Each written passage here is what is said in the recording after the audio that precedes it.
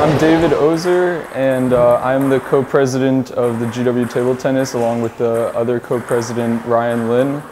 And uh, here we play at the Lerner Health and Wellness Center in uh, level P3. It's kind of like a dungeon here, but uh, we enjoy it. It's a, our nice private spot here. We like warm up a little bit, so warm up the forehands and backhands, and then some like more powerful strokes, and then we move on more towards um, like uh, in in club competitions. We play each other, and then we rotate around. We try to mix up the um, the uh, skill sets, so we get like a pretty even balance. The great thing about this club is that pretty much anyone is welcome to join. We have people, we have freshmen, uh, we have seniors, all the way up through seniors, and we have grad students and even PhD students. Oh, it's definitely the people. So like making a lot of friends, um, building up these really nice relationships, and it's a lot of fun playing with these people in general.